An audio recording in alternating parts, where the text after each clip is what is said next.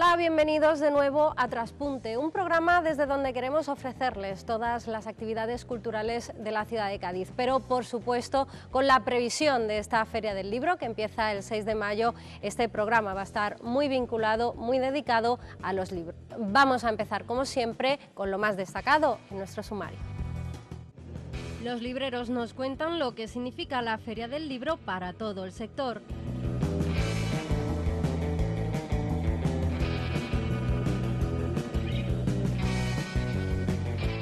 Hablamos de la poesía de uno de los grandes nombres de nuestra literatura.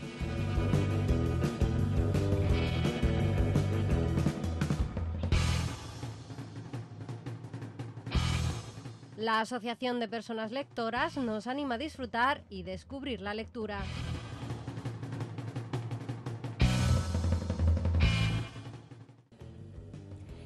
Y en nuestros paseos habituales eh, por los diferentes espacios culturales de la ciudad, nos vamos a parar en esta ocasión por la Casa de Iberoamérica, que acoge varias exposiciones temporales, además de las permanentes como la de Fitman. Vamos a ver un reportaje donde profundizamos un poquito más en esta Casa de Iberoamérica.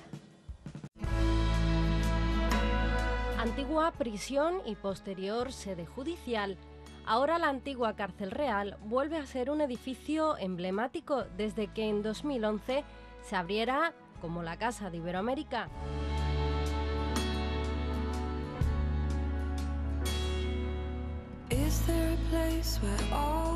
Un espacio para y por la cultura de ambas orillas, donde se entrecruzan las culturas de los países de los dos lados del Atlántico. Eje fundamental de los Faustos del Bicentenario, en el 2012 acogió grandes muestras iberoamericanas como la del Señor de Sipán o la de Costa Rica, Tierra de Maravillas, además de la obra permanente de Cornelis Tidman, que ha quedado para el disfrute de gaditanos y visitantes así como diferentes encuentros, conferencias y mesas redondas entre personalidades del mundo iberoamericano.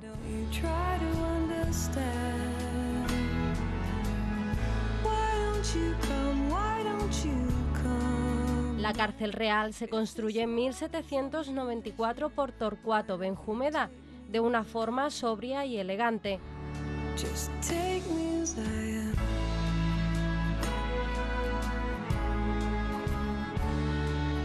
Posee una planta rectangular en torno a un patio central, otros dos laterales alrededor de los cuales se sitúan ocho salas multidisciplinares y dos plantas de altura.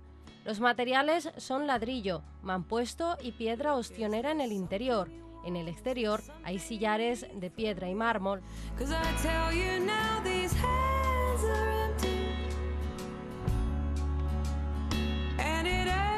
Tras una extensa rehabilitación en la que se trabajó contra reloj y contra las dificultades que hicieron mella en el edificio durante los dos años que se mantuvo cerrado,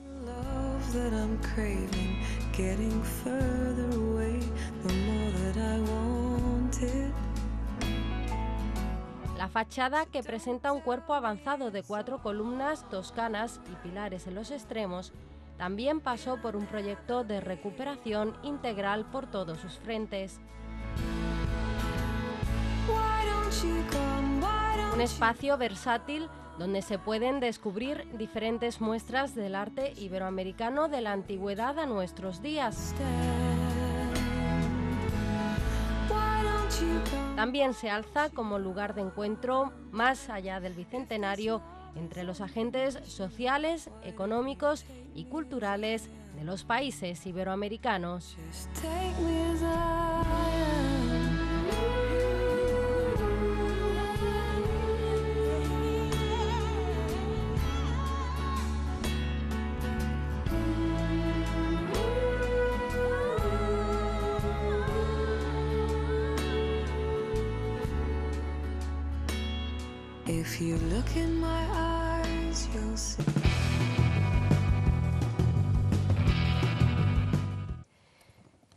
Pues como habíamos anunciado al principio del programa, eh, durante todo el programa, valga la redundancia, vamos a hablar de libros y vamos a hablar de la Feria del Libro. Y qué mejor modo que hablar de libros y de la Feria del Libro con los libreros. Por eso está con nosotros Juan Manuel de la librería Falla. Bienvenido, muchas gracias por estar de nuevo con nosotros. Muchas gracias, Almudena.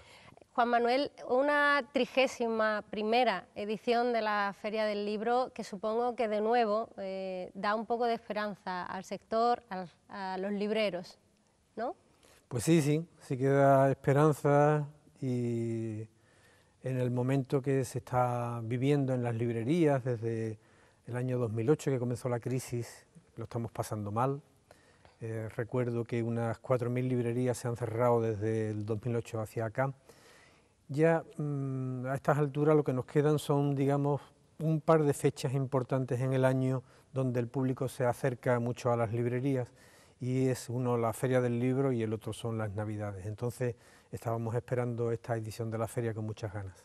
Eh, ¿Qué novedades o qué eh, actividades podías destacar desde vuestro punto de vista, desde el punto de vista de los libreros en esta Feria del Libro que está dedicada al género fantástico en esta ocasión?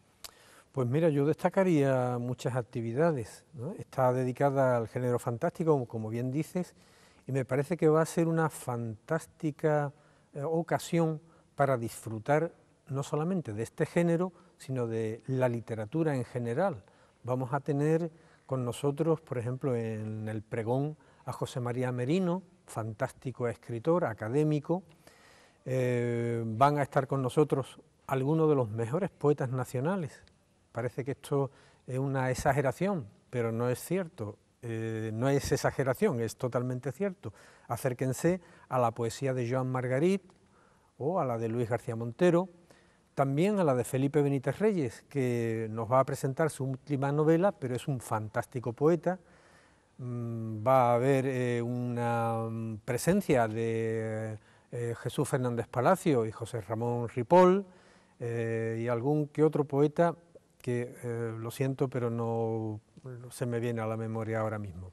O sea que va a ser también una eh, fiesta de la poesía, va a ser una fiesta del cómic, va a haber una gran cantidad de actividades alrededor del cómic.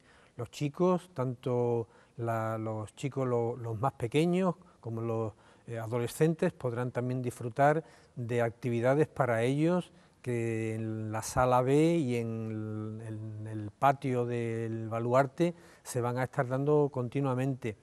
Eh, en fin, mm, entiendo que va a venir, por ejemplo, a presentar el premio Nadal último, Víctor del Árbol, que también es un autor muy, muy seguido, muy leído.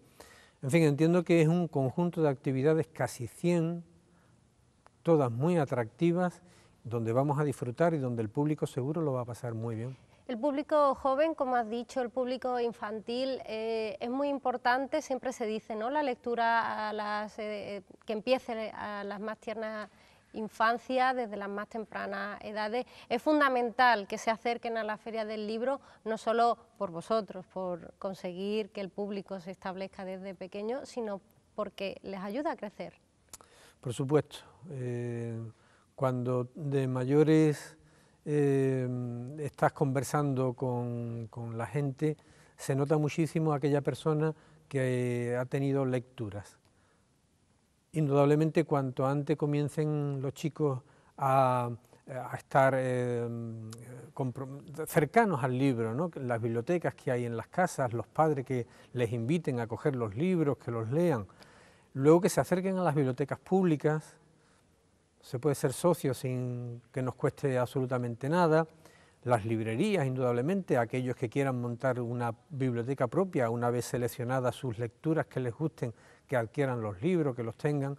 Y eso es eh, importante porque eh, forma a las personas, nos permite tener ideas más claras, nos permite tener opinión propia y que no se nos tergiverse excesivamente la, la realidad política o la realidad la que sea. ¿no? Y eh, yo invitaría a todos los padres a llevar a los chicos de la mano a la feria, que los hagan disfrutar y que disfruten ellos también. ¿Objetivo de los libreros o para los libreros de esta feria del libro?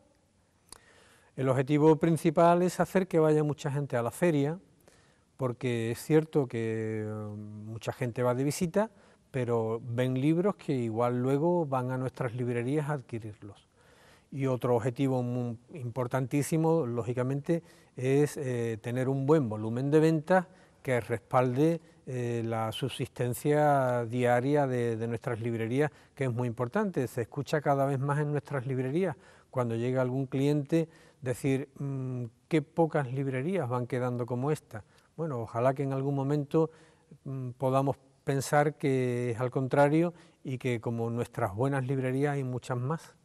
Juan Manuel, muchas gracias, eh, no solo por venir aquí y darnos unas pequeñas pinceladas de lo que va a ser la Feria del Libro, sino por el trabajo que tú y otros tantos libreros en la ciudad de Cádiz seguís haciendo eh, con lucha, con fuerza y con perseverancia, porque gracias a vosotros eh, el papel el libro como tal sigue subsistiendo y sigue sobreviviendo. Muchas gracias. Gracias a vosotros también por invitarme en este precioso Teatro Falla, que es un encanto estar aquí. Muchas gracias. Y nosotros, bueno, antes de seguir hablando de libros, vamos a hacer una pequeña parada en esa Casa Iberoamérica que hemos visto antes para ver una exposición sobre los años eh, de la Casa de Contratación, un pequeño homenaje de la ilustración gaditana y sevillana a Cádiz y Sevilla.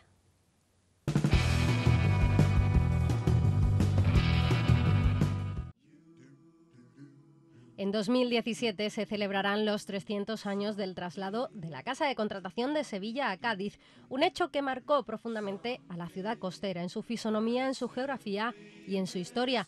Ahora la Casa de Iberoamérica acoge uno de los primeros actos de conmemoración que se celebrarán a lo largo de este año y del próximo.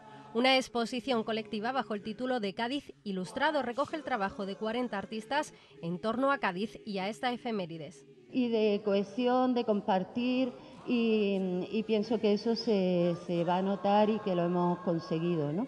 Eh, trazar como un puente y, bueno, ir más allá de lo local, que es lo que suele suceder en estos eventos históricos, ¿no? que se quedan un poco en la gente de la ciudad y ya La muestra puesta en marcha gracias a la colaboración de la asociación Garabateix Ilustra y Tinta Naranja recorre a través de acuarelas y diferentes dibujos la capital gaditana y la sevillana, sus plazas y rincones más característicos, con alguna relación con los hechos acontecidos a partir de 1717. Lo que supuso el inicio de una era de esplendor para la ciudad, tanto en el ámbito social, cultural, comercial y económico.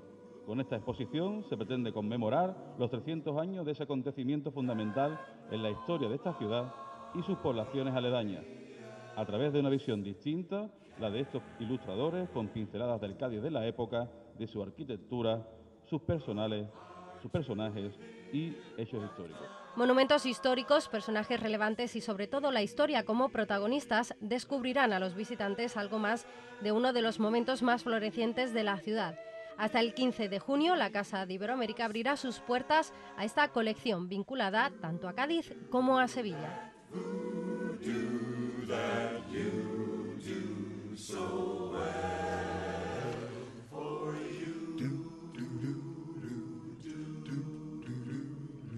Something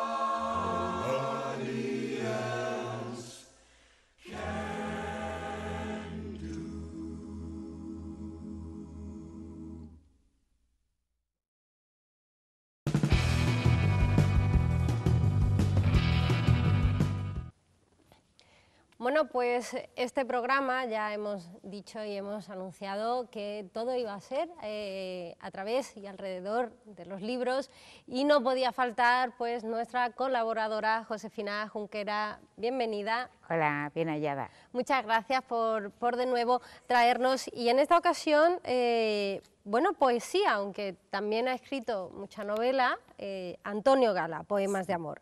Y lo traemos principalmente porque el Centro Andaluz de las Letras, la Junta de Andalucía, eh, decidió que el 23 de abril, el Día del Libro, se celebrara alrededor de la figura de Antonio Gala. De hecho, él estuvo en el acto principal en Córdoba, en el que, bueno, lo vimos un poco ya mayor y un poco ya 85 años. Claro, tiene.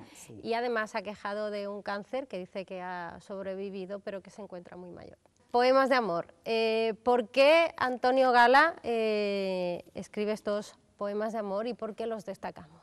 Bueno, mira, podríamos haber elegido a Antonio Gala como dramaturgo, mm. que realmente es la fama que él tiene, ¿no? autor dramático, ha recibido varios premios de ámbito nacional e internacional como, autor de obras de, teatro, ha sido un columnista muy considerado, su famosa columna de charlas con Troilo está recopilada en un libro, eh, es un hombre que, bueno, mm, ensayista, crítico, dramaturgo, y quizá la fase de poeta es la fase menor, digamos, y novelista, por supuesto, ¿no? Premio Planeta y tal, ¿no? Eh, un poquito esa mm, fase más íntima, más oculta, más eh, sensual, y que, él en este libro, en este libro que es una antología poética, cuya selección la hace el propio Antonio Gala, y con un, un prólogo de Pera Jean Ferrer, el académico de la lengua, que dice, mm, habla de él en términos sumamente elogiosos, ¿no? Dice, la belleza conquistada aquí en este libro es algo parecido a la conquista de la verdad, intentando unificar verdad y belleza, los términos eh, clásicos renacentistas, eh, aplicándoselos a la poesía de Antonio Gala, y tiene toda la razón del mundo. Y tiene, a mí me, eh, ese libro, que es la sexta edición, y ya mm, salió hace varios años. Me gusta especialmente de Antonio Gala y quizá, bueno, pues por esa preferencia personal, por la poesía, por este autor que aunque nació en Brazatortas, en Ciudad Real, se considera cordobés, se considera andaluz, que ha escrito mucho sobre Andalucía, porque parte de sus libros y de sus poemas, eh, sobre todo de sus libros de poemas, se los mm. dedica a Andalucía pues entonces me ha parecido muy significativo, un poco para festejar ¿no? también eso, el Día del Libro.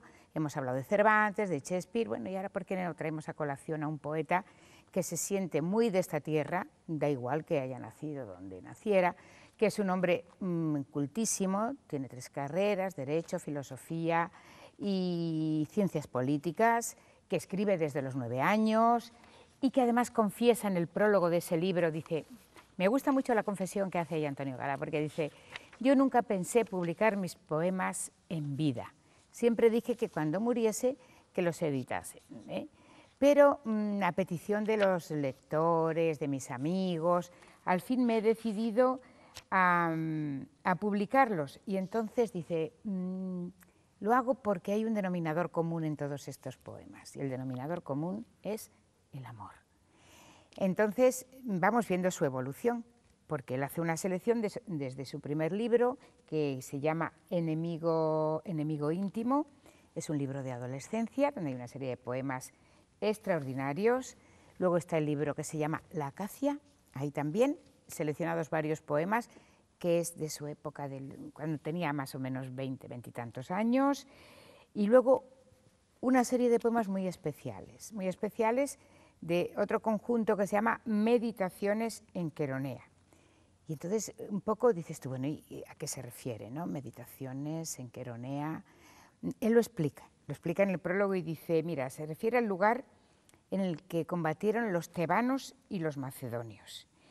Y allí, en esa pelea, fue vencido el llamado batallón sagrado. El batallón sagrado estaba compuesto únicamente por amantes y amados y resultaron vencidos. Entonces murieron abrazados los unos a los otros, qué curioso.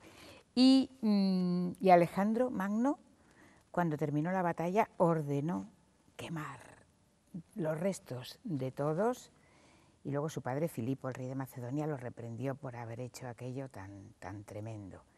Entonces, en esa prueba excelsa de amor, que es entregar su vida eh, por, una idea, por la patria y sobre todo por parecer eh, eh, valiente frente al amado, él elabora ahí una serie de poemas en un lenguaje muy culto.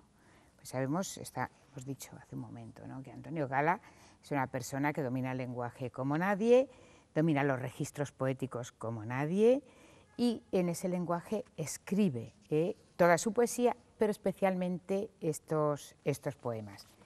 Y bueno, mm, luego también eh, está ahí Testamento Andaluz, hay poemas que Testamento Andaluz son, creo que son 24 poemas, tres dedicados a cada una de las ocho provincias andaluzas, o sea, 3 por 8, 24, exactamente 24. No están ahí los 24, hay una selección de todas las provincias y en el caso de Cádiz selecciona mm, Arcos de la Frontera, un poema dedicado a, Arcos de la Frontera y entonces, bueno, pues selecciona aspectos, momentos, es una poesía, digamos, más popular. Ya no es lo de Queronea, ¿no?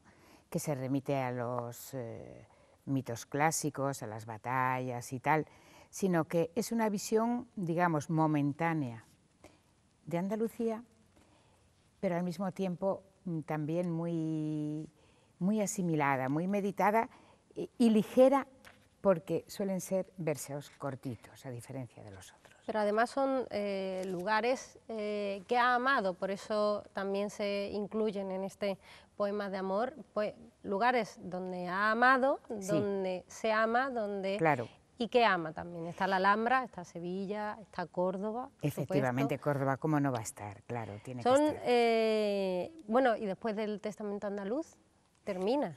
Eh, bueno, después del eh, en el Testamento Andaluz hay ahí, como hemos dicho, esos poemas y luego hay otra serie, por ejemplo, hay uno que se llama, un poemario que se llama Valverde 20. Valverde es una calle de Madrid, como tú bien sabes.